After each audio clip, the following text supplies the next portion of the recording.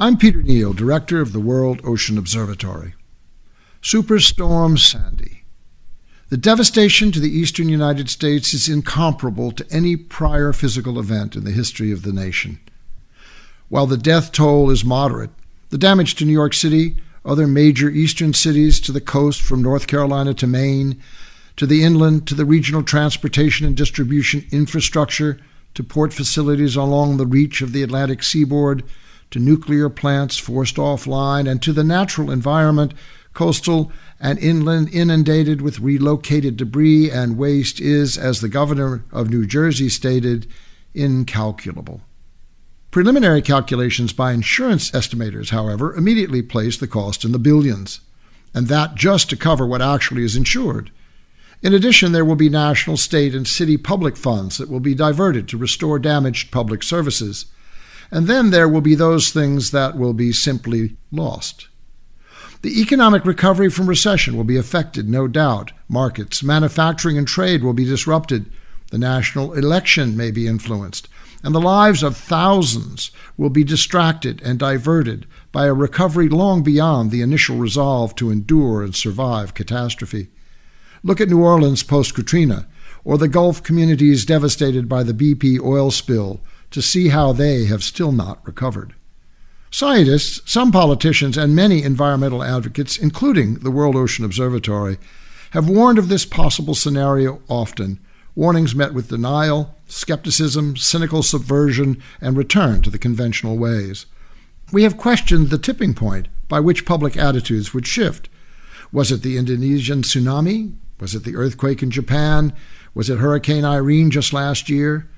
No, none of these were enough to bestir a serious conversation about climate and its impact on what was happening to the ocean, to temperature, acidity, sea level, shifting currents, polar ice, or extreme weather events that have become more and more frequent and severe.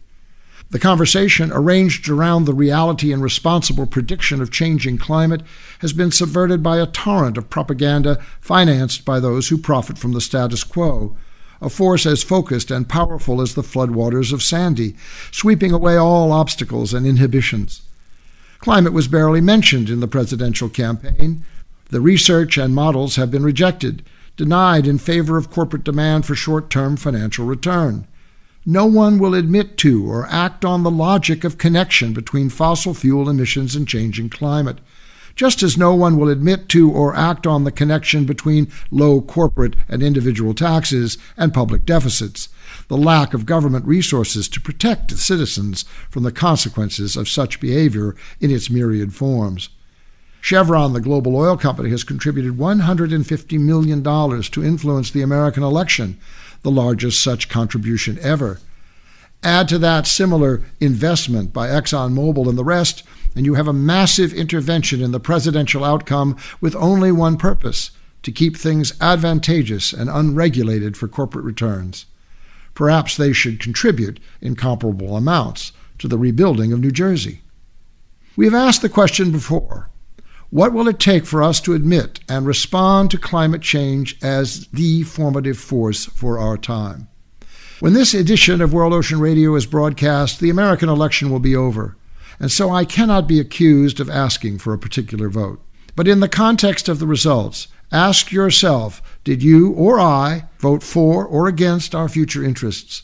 Did we vote for or against our individual health and equitable well being? Did we vote for or against a commitment to our social needs and to the financial capacity to fix our roads, educate our children, train our workers, assure our security, and protect us against natural phenomena like Sandy?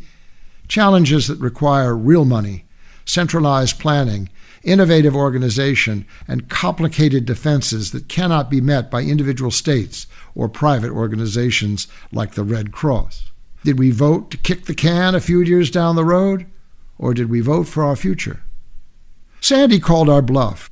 She said, Let's see what happens when I become a perfect storm that cannot be isolated and forgotten in one faraway place, that cannot be denied as an irrelevant, inconsequential event touching only a few, that cannot be explained as an accidental arrangement of causes for which the victims have no responsibility. She said, Let's show them the true power of nature, up front and personal. No Hollywood animation, but the real thing, angry and indifferent to who we are or what we own. And see how deep their denial really goes, how bad and how long they really want to mess with me. The recovery from this storm must now begin the process of building a new relationship with the ocean through new values, new structures, and new solutions for how we live and work along the coast and how we engage and respect the natural world we live in. We must now revert to what was, but build now what must be, given the realities of changing climate. Sandy said, Change your ways, people. Get smart. Take me to heart.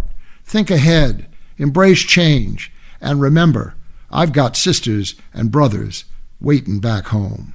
We will discuss these issues and more in future editions of World Ocean Radio.